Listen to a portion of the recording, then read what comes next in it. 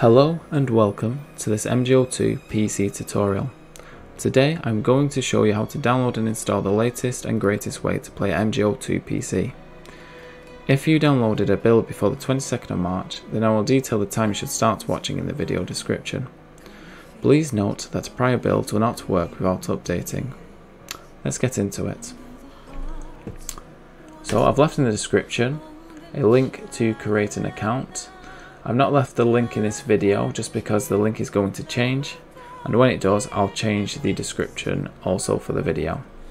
So you're going to want to put in a username, a password, an email and a display name is optional and then create an account. The username and password is what you're going to use to log into the game.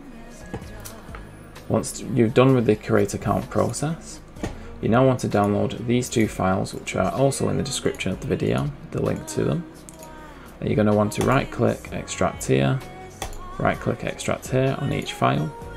Once you've done that you should have an MGO2 unofficial PC file and a Metal Gear Online file. You should see that they uh, match exactly the, with the RAR file. Now what you're going to want to do is drag Metal Gear Online to MGO2 unofficial you should have a um, the, the contents of this folder should look exactly like this what you want to do is open the emulator through this folder here and select this application. Um, your emulator will look a bit different to this. This is because I'm already pre-configured. You should already have the firmware installed though, but I'm still going to cover that. So you want to click File, Install Firmware, if it's not already installed, but there's no harm in reinstalling. You're going to want to double click this I'm not going to do that now because I've already done it. Now to boot the game, you're going to go File, um, Boot Game. Then you're going to want to find the location of which you put the MGO2 unofficial PC folder in.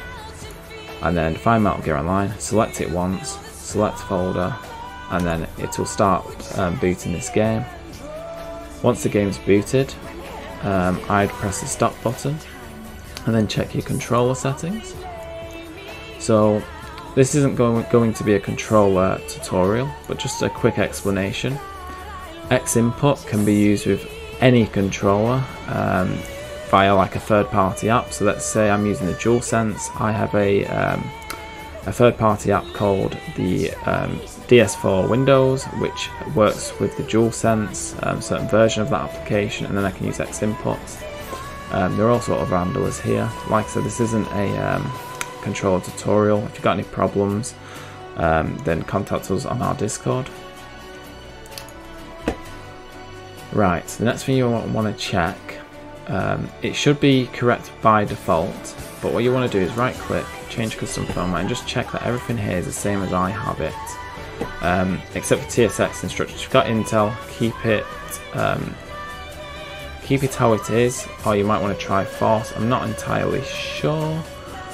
Um, but I would test with that one. But everything else, keep exactly the same.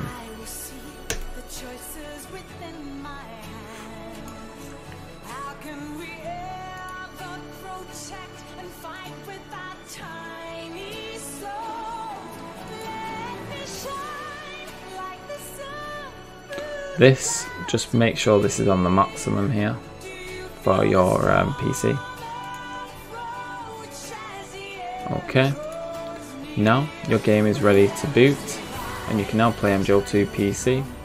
Thanks for watching, please like and subscribe, that concludes this video.